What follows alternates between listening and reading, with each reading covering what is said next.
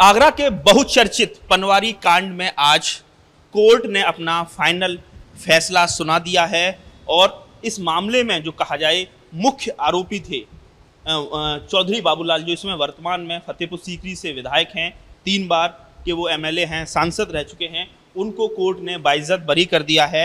MP, MLA, special court Neeraj Gautam की अदालत ने आज फैसला सुनाया है। हमारे साथ हैं बाबूलाल जी। सर, पहली क्या प्रतिक्रिया है? बत्तीस साल बाद कोर्ट का ये फैसला आया है और कहा जाए आपके दामन पर जो दाग थे आज धुल गए सारे? नहीं मेरे पास न पहले दाग था न आज दाग है।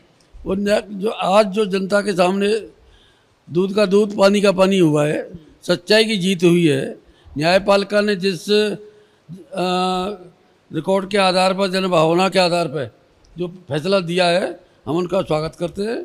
और वास्तव में ये फैसला जो दिया है, ये पूरे ही जनमानस में, चाहे वो कोई भी बिरादरी का हो, सबके मन में एक स्वीकारता के तहत लिया जाएगा। 22 जून 1990 सर, करीब 32 साल हो गए। दलित चोखीलाल की गाँव में बारात पहुँची थी। तब ये कहा जाता है कि जाट और जाटव समाज आमने सामने आ गए थे घुड़चढ़ी के दौरान। तो क्या एग्जैक्ट हुआ क्या था उस समय? अगर आप अपने मेमोरी पर थोड़ा ज़ोर डालें किस तरह से ये घटना हुई थी? किस तर, किस तरह से कोर्ट में ये मामला चला? तमाम राजनीति देखने को मिली। ये कोई मामला नहीं था। ये हमारे जो विरोधी थे राजनीतिक लोग उन लोगों ने इस चौकीलाल को बढ़ाने का काम किया।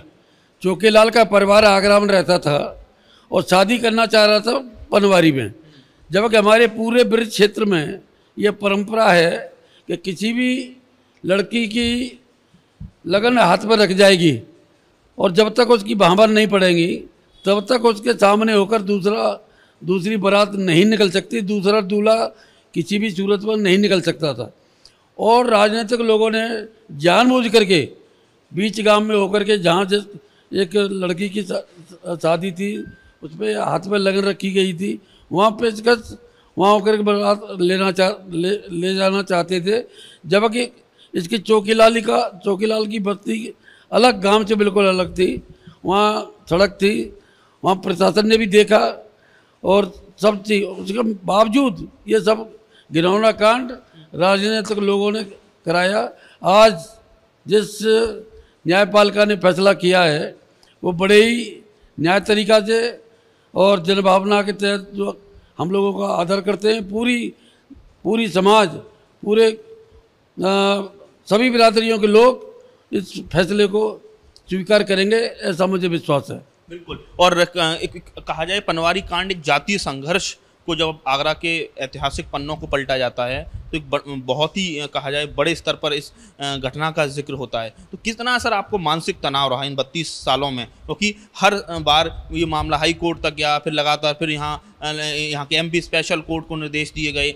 लगातार आपकी कोर्ट में भागम भाग रही। इसी बीच आपकी, आप राजनीतिक ऊंचाइयाँ भी आपने छुई। आप निर्दलीय एमएलए 96 में बने, फिर 2002 में आरएलडी से एमएलए बने, मंत्री बने। आप लगातार राजनीतिक ऊंचाइयाँ छूते रहे। लेकिन फिर भी एक मानसिक तनाव तो लगातार बना ही रहा। नहीं, मानसिक तनाव तो हम लोगों के लिए इस वजह से नहीं रहा था कि हम सच्चाई पे थे और धर्म के साथ थे और ईमानदारी के साथ थे। और जनभावना हमारे साथ थी। इस वजह से हमें कोई मानसिक तनाव नहीं रहा।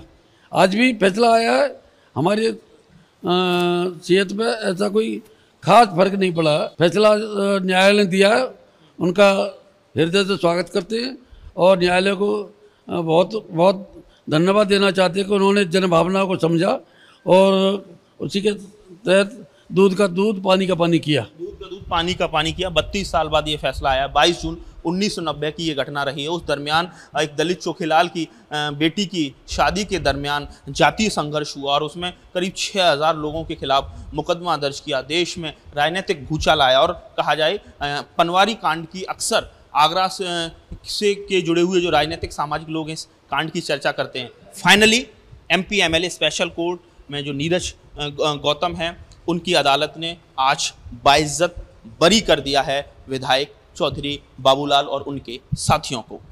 अगर से नितिन उपाध्याय एबीपी गंगा।